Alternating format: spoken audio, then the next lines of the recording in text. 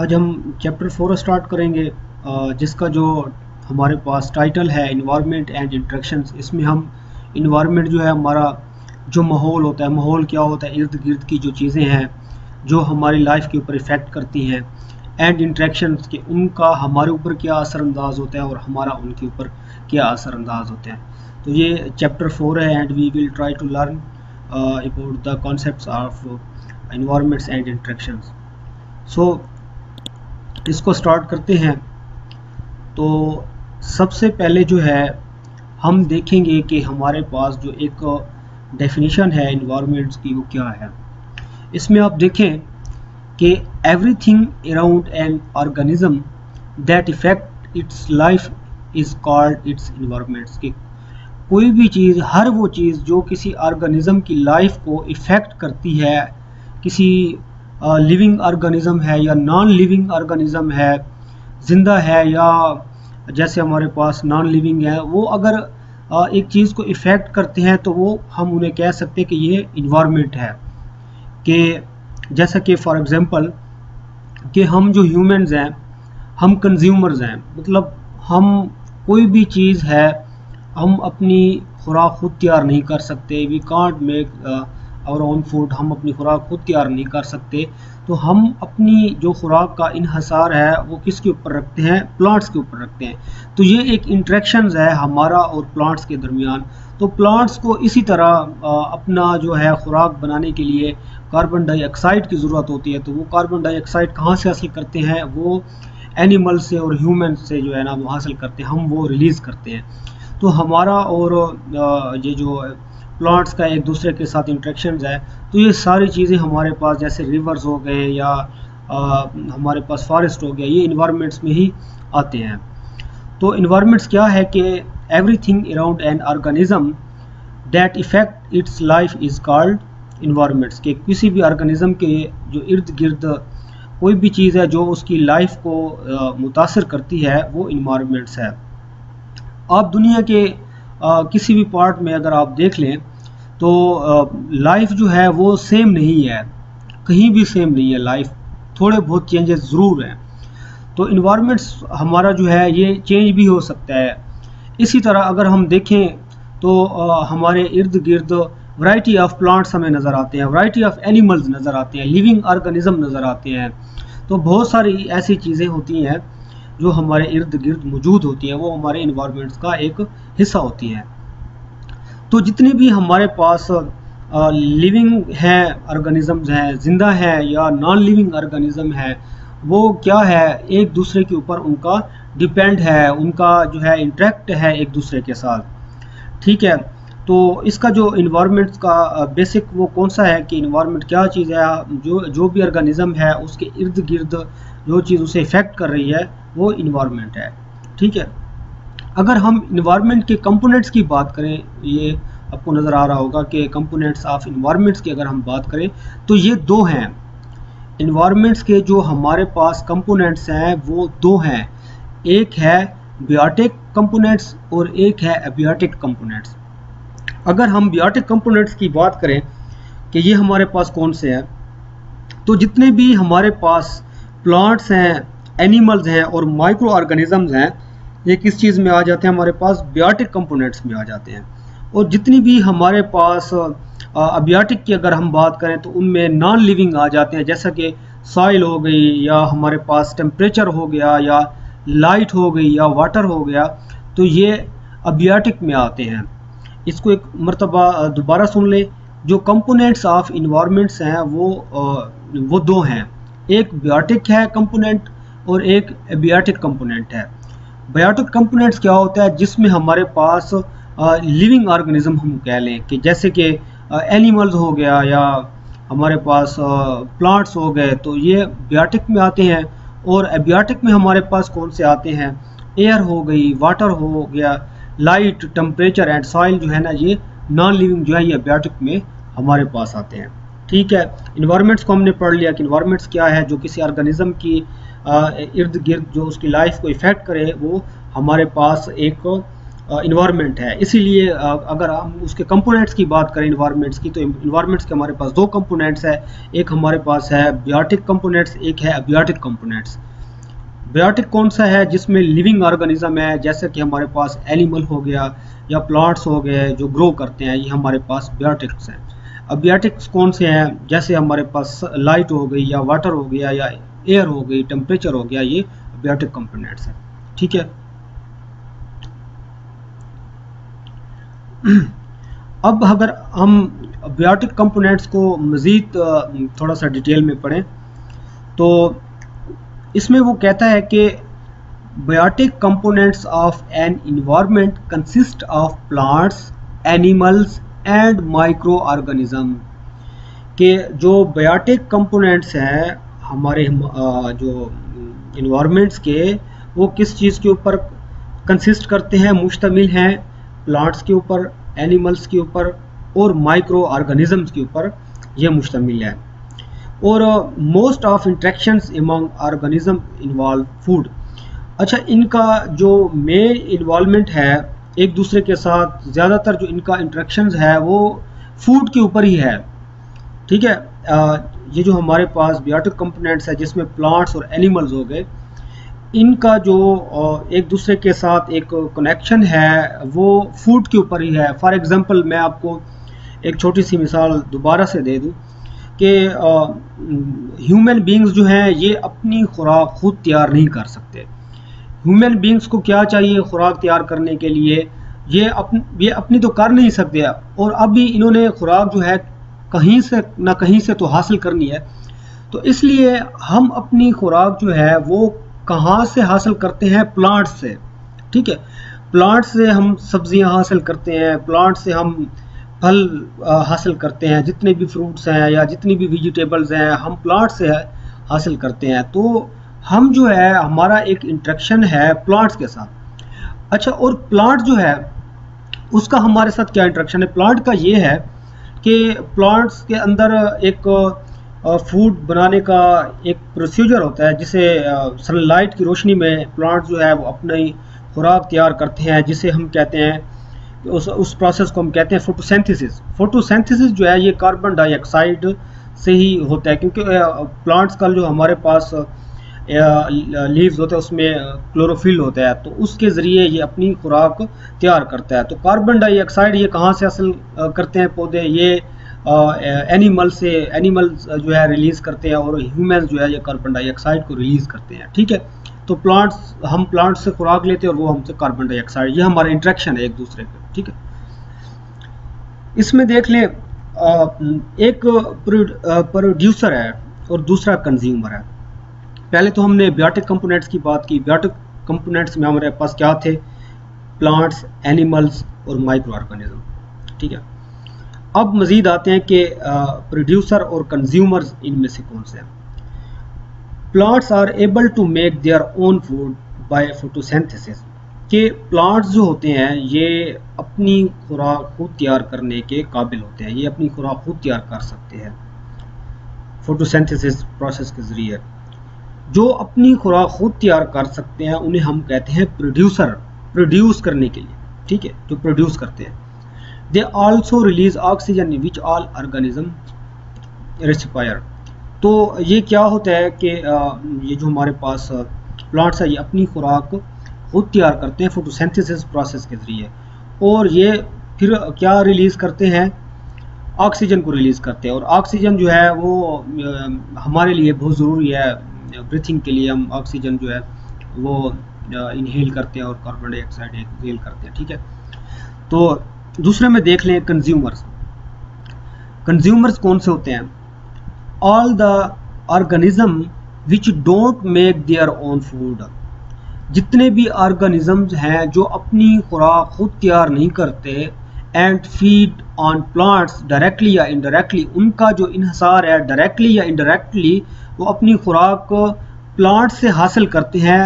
ہم ان کو کیا کہتے ہیں؟ کنزیومرز اس کو ایک مرتبہ پھر دیکھ لیں کہ آل دا آرگنزمز جتنے بھی آرگنزمز ہیں which don't make their own food جو اپنی خوراک خود تیار نہیں کر سکتے and feed on plants directly indirectly are called consumer جو ڈائریکٹلی ان سے خوراک لیتے ہیں پودوں سے یا انڈائریکٹلی لیتے ہیں، ہم ان کو کنزیومرز کہتے ہیں۔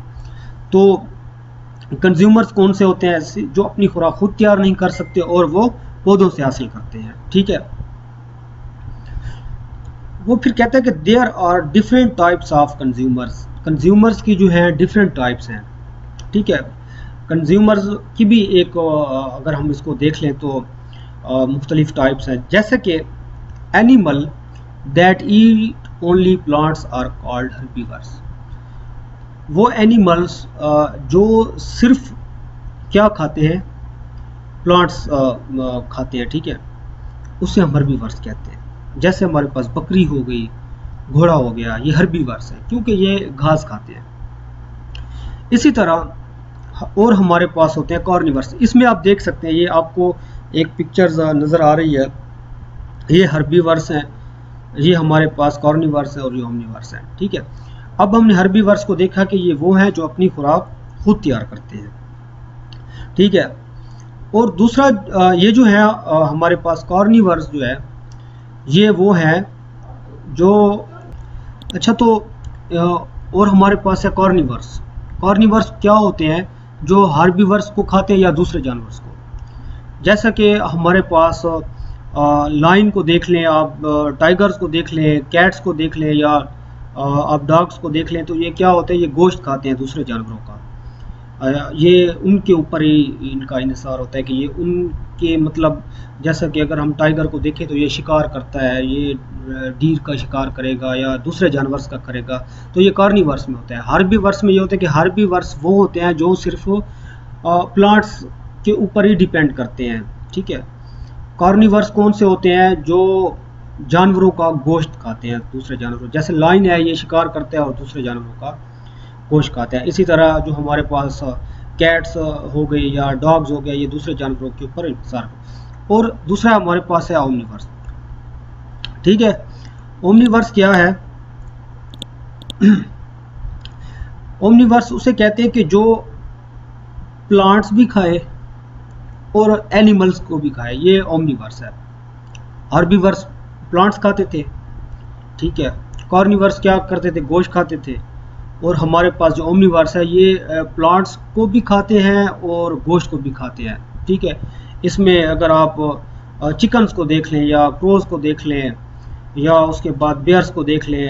اینڈ اگر ہم خود اپنی بات کریں ہیومنس کی، تو ہم اومنی وارس ہیں۔ ہم سبزیاں بھی کھاتے ہیں جو ہم پلانٹ سے لیتے ہیں اور اس کے علاوہ ہم جو ہے گوشت بھی کھاتے ہیں۔ ٹھیک ہے۔ پھر کون سا ہمارے پاس ڈی کمپوزر ہے؟ ڈیکمپوزرز کیا ہوتا ہے؟ کہتے ہیں کہ when plants and animals die جب پلانٹس یا اینیملز جو ہے، یہ ڈائی ہوتے ہیں، ٹھیک ہے، تو their bodies are broken down and decomposed by bacteria کہ ان کی جو جب یہ ڈائی ہوتے ہیں تو ان کی جو باڈی ہے وہ چھوٹے چھوٹے ٹکڑوں میں کیا ہو جاتی ہے؟ بڑھ جاتی ہے یا ایک ذرا ذرا ہو جاتی ہے۔ اور یہ ڈیکمپوزڈ بائی کون کرتے ہیں؟ Bacteria these bacteria are call decomposer یہ جو ہمارے پاس بیکٹیریا ہے، جو ان کی باڈی کو ڈیکمپوز کرتے ہیں، ہم ان کو کیا کہتے ہیں؟ ڈیکمپوزر کہتے ہیں۔ تو ڈیکمپوزر جو ہے، یہ ہماری لائف میں ایک بہت ہی امپارٹنٹ رول جو ہے یہ رول پلے کرتے ہیں۔ ٹھیک ہے، کیونکہ یہ مختلف سبسٹنس جو ہوتے ہیں، جو ہمیں ضرورت ہوتے ہیں، یہ ان کے لیے جو ہے نا بڑے یوزفل ہوتے ہیں۔ ٹھیک ہے۔ اسی طرح اس کو دیکھ لیں پوائنٹ کو depend upon organisms on one other کہ یہ جو آرگنیزمز ہیں آل آرگنیزمز ہیں، جیسے کہ پلانٹس ہو گئے یا ہمارے پاس اینیملز ہو گئے، یہ ایک دوسرے کے اوپر کیا کرتے ہیں؟ انٹریکٹ کرتے ہیں، ایک دوسرے کے اوپر ان کا انحصار ہوتا ہے، کسی نہ کسی۔ تو وہ کون سی ایسی چیزیں کہ یہ ایک دوسرے کے اوپر چھوڑتے ہیں یا ایک دوسرے سے حاصل کرنے کی کوشش کرتے ہیں؟ سب سے پہلے تو ہے food all animals depend directly indirectly on green plants for their food سب سے پہلے جتنے بھی اینیملز ہیں، وہ ڈیپینڈ ڈائریکٹلی یا انڈائریکٹلی وہی جو پہلے میں آپ کو بتا چکا ہوں، وہی بات ہو گئی کہ یہ ایک دوسرے کے اوپر ڈیپینڈ کرتے ہیں خوراک کے لیے کہ اینیملز جو ہے یہ گھاس کھاتے ہیں یا یہ خوراک کہاں سے حاصل کرتے ہیں، تو یہ فوڈ جو ہے زیادہ تر پلانٹ سے ہی حاصل کرتے ہیں۔ ٹھیک ہے؟ شیلٹر کی اگر ہم بات کریں، دوسرا کہ for shelter some animal such as a make their homes in the holes of tree تو اگر ہم دیکھیں کہ ہمارے پاس جو الو ہوتا ہے، وہ ٹریز کے اندر اپنا نیسٹ جو ہے، وہ بناتا ہے، تو اس کا مین مقصد کیا ہوتا ہے کہ کوئی چیز اس کو ہرم نہ کر سکے، ٹھیک ہے؟ تو وہ کس چیز کا سہارا لے رہا ہے؟ ٹری کا۔ ٹری ہمارے پاس کیا ہے؟ ایک ایک اس کا سورس ہے اس کو بچانے کے لیے، تو ایک جو ہے آرگنزم کا دوسرے کے اوپر یا وہ اس کا جو ہے کیا کر رہا ہے، ایک سہارا لے رہا ہے۔ تو یہ بھی اس شیلٹر والے پوائنٹ میں بھی آتا ہے۔ فار پروٹیکشن وہ کہتے ہیں کہ کچھ جو ہے چیزیں ایسی ہوتی ہیں جو ایک دوسرے یہ پروٹیکشن کے لیے بھی کام آتے ہیں۔ فار ایگزامپل اگر ہم بات کریں تو پیرٹس جو ہیں، ان کا کلر چونکہ گرین ہوتا ہے، تو یہ گرین جتنی بھی آپ ہائٹ کے ٹریز دیکھیں گے، یہ جا کر وہاں چھپ جاتے ہیں کہ تاکہ ان کو کوئی چیز ہرم نہ کر سکے یا کوئی ان کا شکار نہ کر سکے یا یہ اپنے نسٹ جو ہے نسٹ وہاں بائلڈ کرتے ہیں تاکہ کوئی بندہ وہاں تک پہنچ نہ سکے۔ تو یہ بھی ایک دوسرے کے اوپر سیفٹی کے لیے بھی ایک دوسرے سے یہ ہیلپ لے رہے ہیں۔ اور یہ تو ہم نے ہیلپ لی درختوں سے، پودوں سے۔ اب وہ ہم سے کیا لے رہے ہیں؟ Plants can not make their food without carbon dioxide gas کہ پلانٹس جو ہیں، یہ اپنی خوراک کاربن ڈائی آکسائڈ کے علاوہ without carbon dioxide یہ پریپیئر نہیں کر سکتے۔ تو یہ پریپیئر یہ کاربن ڈائی آکسائڈ کہاں سے حاصل کرتے ہیں؟ تو یہ کاربن ڈائی آکسائڈ جو ہے، یہ اینیملز جو ریلیز کرتے ہیں ڈیورنگ دا ریسیپائریشن ایک پروسیس ہے انرجی ریلیز کرنے کا، یہ اسی سے ہی حاصل کرتے ہیں۔ جب وہ ریلیز کرتے ہیں اینیملس تو یہ پلانٹ جو ہے، یہ ان کو آبزرو کرتے ہیں۔ ٹھیک ہے، اور یہ دوسرا فار پولینیشنز ہے۔ تو یہ بھی لکھا ہوا ہے، آپ اس کو جسٹ چیک کر لینا۔ اب بیاٹک کمپوننٹس کی ہم بات کریں۔ بیاٹک کمپوننٹس کا ہم نے اوپر پڑھا ہے کہ دو تھے بیاٹک تھی اور ایک بیاٹک مطلب ایک لیونگ اور نان لیونگ اب یہ نان لیونگ کی بات ہو رہی ہے۔ تو نان لیونگ میں ہمارے پاس کیا تھی؟ لائٹ تھی۔ ٹھیک ہے، ٹیمپریچر، سوائل، ایئر، واٹر، یہ کون سے ہمارے پاس ابیاٹک کمپوننٹس ہے تو اگر ہم لائٹ کی بات کریں، تو لائٹ جو ہے ایک بہت بڑا سورس ہے انرجی کا، اور پلانٹ جو ہے اپنا، اپنی خوراک تیار بھی نہیں کر سکتے۔ ان کا فوٹوسینتھسس کا پروسیس کمپلیٹ بھی نہیں ہو سکتا۔ جب تک سورج کی روشنی اس کے پتوں کے اوپر نہ پڑے۔ تو یہ بھی ایک بہت بڑا سورس ہے اور اسی سورج سے ہم ہمارے جو ہمارے اندر جو وٹامن ڈی ہوتا ہے وہ ایکٹیو ہوتا ہے۔ کس کی وجہ سے؟ سورج کی، روشنی کی وجہ سے لائٹ کی وجہ سے۔ تو لائٹ کے اوپر ہمارا بھی ڈیپینڈ ہے لائٹ کے اوپر جو ہے پلانٹس کا بھی ڈیپینڈ ہے۔ تو یہ جو ابیاٹک کمپوننٹس ہیں نان لیونگز ہیں، اس میں جو لائٹ ہے، اس کا یہ رول ہے کہ پلانٹس جو ہے اپنی خوراک اس کے ذریعے تیار کرتے ہیں اور ہماری اس میں بھی یہ کام آتا ہے۔ ٹھیک ہے۔ ٹیمپریچر کی بات کریں اگر ہم تو جیسے کہ the heat of sun greatly influence the temperature of place کہ ہمارے پاس جو ہیٹ آف سن سن کی جو روشنی ہوتی ہے یا ہیٹ ہوتی ہے، وہ کیا ہوتا ہے کہ ٹیمپریچر بہت سارے بہت ہی انفلوئنس ہے کہ جتنی روشنی مطلب اس کی ہیٹ زیادہ ہوگی ٹیمپریچر اتنا ہی ہمارے پاس زیادہ ہوگا۔ ٹھیک ہے؟ تو کچھ ایسی چیزیں ہوتی ہیں کہ ہمیں جو ہے اس ٹیمپریچر کی ایک مخصوص ضرورت ہوتی ہے۔ اب جیسے کہ اگر ہم پلانٹس کی بات کریں تو پلانٹس کو، کا ایک مخصوص ٹیمپریچر ہوتا ہے جس میں وہ گرو ہو سکتے ہیں ادروائز وہ زیادہ اس میں پھر ان کی گروتھ نہیں ہوتی۔ تو ٹیمپریچر کا بھی ایک ہمارے ساتھ ایک نہایتی انٹریکشن ہے۔ ٹھیک ہے۔ ایئر کو دیکھ لیں۔ تو یہ آپ کو اسکرین کے اوپر نظر آ رہے ہیں، تو آپ ان کو اگر کوئی پوائنٹ رہ جائے تو آپ اس سے پڑھ سکتے ہیں۔ اور کوئی بھی قسم کا پرابلم ہو تو آپ مجھے کامنٹس میں لکھ سکتے ہیں یا کوئی میتھڈالوجی چینج کرنی ہو تو آپ مجھے کامنٹس میں لکھ سکتے ہیں۔ تو میں ان شاء اللہ تعالیٰ اپنی طرف سے پوری کوشش کروں گا۔ ایئر کو دیکھ لیں۔ ایئر جو ہے، ایک نہایت ہی ایک ایسا فیکٹر ہے کہ جس کو ہم اگنور نہیں کر سکتے۔ Air is the mixture of gases یہ گیسز کا مکسچرز ہے۔ جس میں ایئر میں کیا ہے، ہمارے پاس آکسیجن بھی ہے نائٹروجن بھی ہے، اور بھی کاربن ڈائی آکسائڈ بھی ہے۔ اگر ہم دیکھیں تو ٹوینٹی سے ٹوینٹی ون پرسنٹ ہمارے پاس آکسیجن ہے۔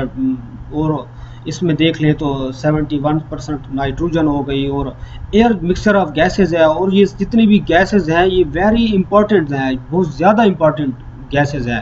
ٹھیک ہے؟ تو ہم آکسیجن جو ہے یہ ایئر سے لیتے ہیں بریتھنگ کے لیے. Without oxygen we can't live ہم نہیں رہ سکتے. وی کانٹ سروائیو ہم سروائیو نہیں کر سکتے. تو یہ بہت ہی امپورٹنٹ ہے ایئر. ٹھیک ہے؟ اگر ایک اللہ معاف کرے کہ آکسیجن ختم ہو جائے تو کوئی بندہ جو ہے نا سروائیو بھی نہیں کر سکے گا.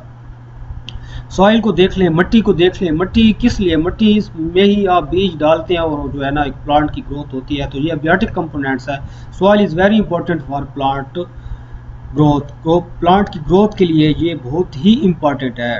ٹھیک ہے۔ سوائل ایئر یہ ابیاٹک کمپوننٹس ہے نان لیونگ والے۔ اور ان کی جو ہے نا بہت ہی زیادہ ایک نیسیسری فیکٹرز ہیں اس کے لیے گروتھ کے لیے۔ ٹھیک ہے۔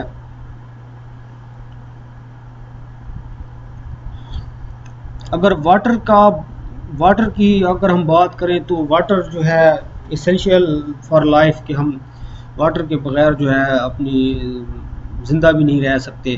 ہم یہ واٹر ہمارے کہاں کام آتا ہے؟ ہماری کراپس میں، ہماری ڈیلی یوز میں، ہمارے ہر قسم کے اس میں جو ہے فارسٹ ہو گئے، جتنے کوئی بھی چیز جو ہے، جتنی بھی لیونگ آرگنزم ہیں وہ اس کے بغیر تو سوال ہی پیدا نہیں ہوتا کہ وہ سروائیو کر سکے۔ تو یہ بہت ہی امپارٹنٹ ہے واٹر یہ بھی ابیاٹک کمپوننٹس میں ہمارے پاس آتا ہے۔